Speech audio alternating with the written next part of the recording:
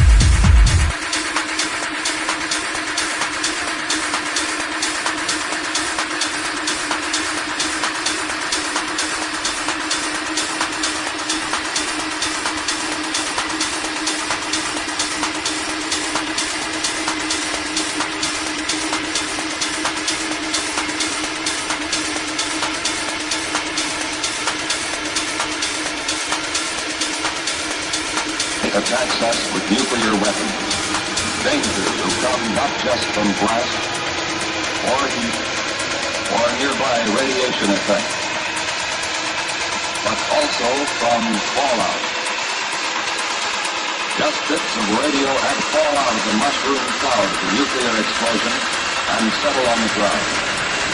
These bits of matter can be dangerous.